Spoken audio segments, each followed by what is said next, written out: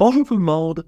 Alors aujourd'hui, je travaille une photographie que j'ai prise au festival Montréal en Lumière. Alors sur la rue Sainte-Catherine, il y avait une série de food trucks, euh, des camions de rue qui servent la nourriture. Euh, il, y il, y en avait une série de stationnés d'un côté de l'autre et je me suis amusé à photographier les gens qui se faisaient servir de la nourriture par la fenêtre des camions. Alors, lorsque j'ai regardé la scène avec mes yeux, l'image qui m'est restée en tête, c'est que la scène est, sombre. On était en soirée, la lumière était stoppée. On est à l'heure bleue, alors il y a une légère coloration bleue dans la lumière. Et par la fenêtre du camion, et bien là, on a la lumière qui est brillante et qui est plutôt dans une tonalité chaude. Alors, c'est l'image que j'ai eue en tête lorsque j'ai fait la photo. Alors maintenant, dans Lightroom, je vais devoir recréer cette image-là en faisant le post-traitement de ma photographie. Alors, on s'en va dans le Lightroom et je vois comment je traite ma photographie pour retrouver l'image que j'avais en tête lors de la prise de vue. Alors, on y va. Bon, voici ma photo. Alors ici, qu'est-ce que je veux faire dans le post-traitement? Je veux euh, diriger l'attention des gens vers la fenêtre ici où on fait le service de la nourriture. Je veux également accentuer l'écart de luminosité entre la lumière à l'intérieur du camion et la lumière à l'extérieur. Et je veux faire en sorte que dans ma photo, il y a une ambiance de photographie euh, prise à l'heure bleue. Alors, euh, ça fait beaucoup de choses à faire dans, la même photographie, mais vous allez voir que c'est très simple à faire. Alors, dans un premier temps, eh bien oui, la courbe des tonalités. Alors, je vais avoir un look d'image où euh, on a l'impression qu'on est à l'heure bleue le soir. Alors, pour faire ça, je vais d'abord commencer par diminuer la luminosité du point blanc. Comme ça. Parce que lorsqu'on est à l'heure bleue, on n'a jamais des hautes lumières qui sont euh, très, très, très, très brillantes. Euh, à l'heure bleue, en soirée, les hautes lumières sont toujours un peu grisonnantes, sont toujours un peu estompées. Alors, je diminue la luminosité de mon point blanc et je vais diminuer aussi la luminosité de mes basses lumières, comme ça ici. Voilà.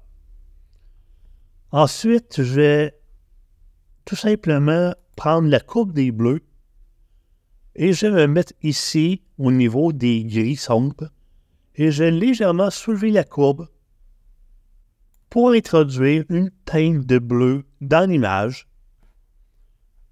Et je vais prendre la courbe des rouges et je vais mettre du côté des gris pâles et je vais légèrement descendre la courbe pour introduire une teinte de cyan dans les gris pâles et dans les hautes lumières.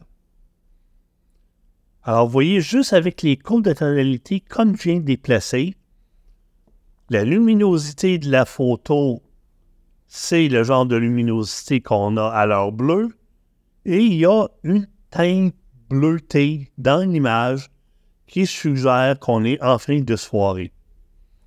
Alors, ensuite, je vais continuer le traitement avec les curseurs de tonalité. Alors, je vais assombrer un petit peu les noirs. Je vais dégager les ombres augmenter un petit peu l'éclat des blancs, mais très peu, et diminuer la luminosité des hautes lumières.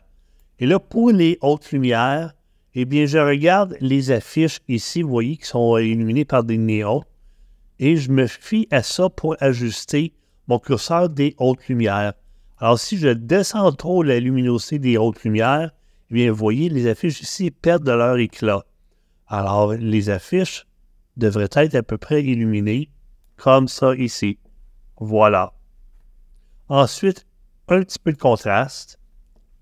Et finalement, je vais augmenter légèrement la clarté de l'image, comme ça ici. Voilà.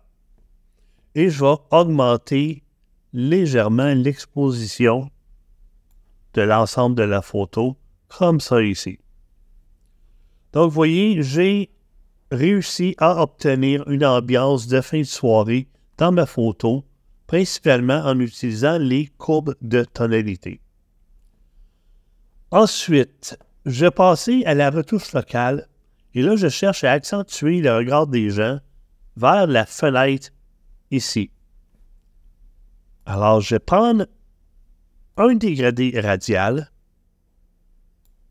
que je vais comme ça ici sur la fenêtre. Voilà. Comme ça. Voilà. Et là, je vais augmenter la luminosité à l'intérieur. Comme ça ici. Voilà. Je vais donner un petit peu de contraste. Je vais augmenter l'éclat des blancs. Voilà. Diminuer un petit peu les noirs, comme ça ici. Je vais augmenter la clarté.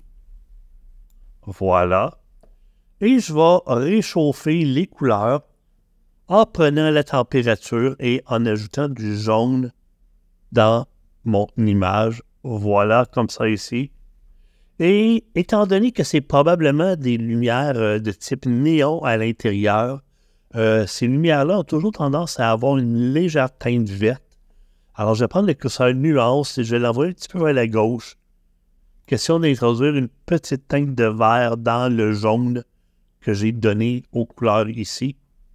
Alors, lorsqu'on regarde la photo avec la retouche que je viens de faire, eh bien, on voit la lumière à l'intérieur du camion et on ressent l'éclat de, de cette lumière-là qui sort par la fenêtre et qui éclaire autour d'elle.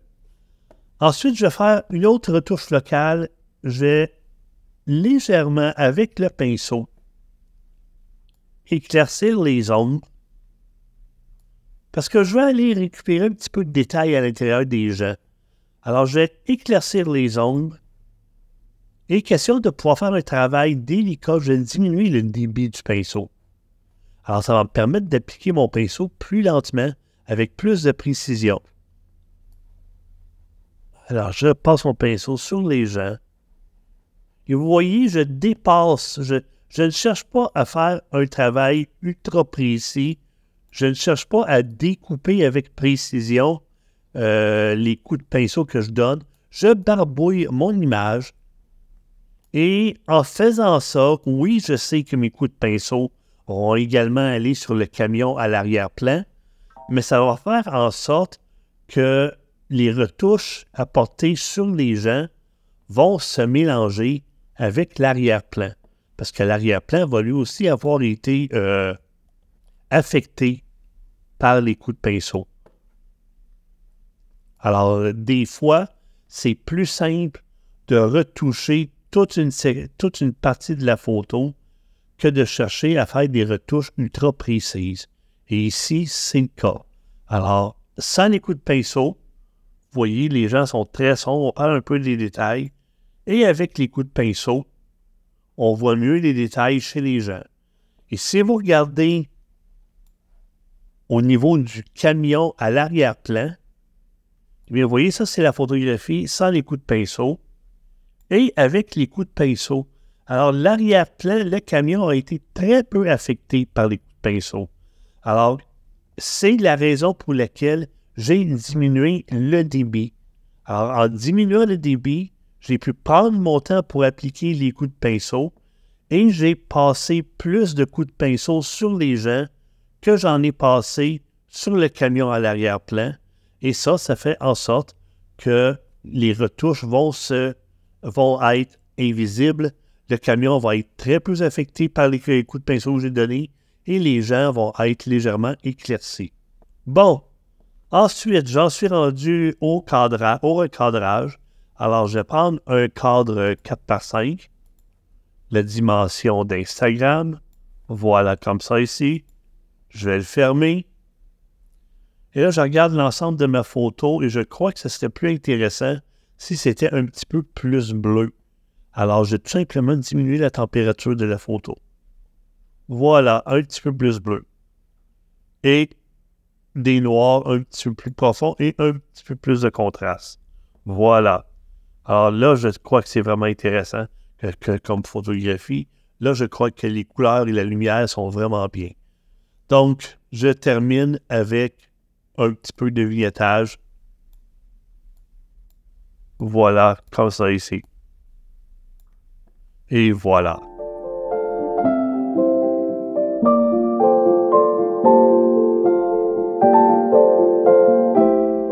Alors voilà.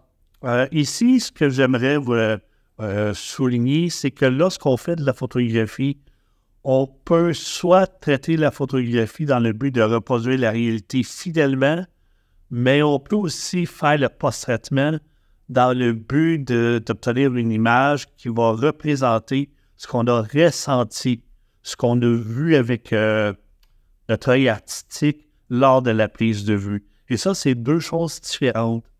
Alors, n'hésitez pas à faire du post-traitement dans le but de retrouver ce que vous avez ressenti au moment de la prise de vue, plutôt que de vouloir faire des images qui collent à la réalité le plus possible. Alors, permettez-vous un peu plus de fantaisie. Et lorsque vous faites de la photographie, prenez le temps avant de déclencher votre caméra, prenez le temps de juste regarder avec vos yeux et de juste vous demander quelle couleur que je vois, comment que je vois la lumière, comment que je ressens les choses. Et après, faites les photos.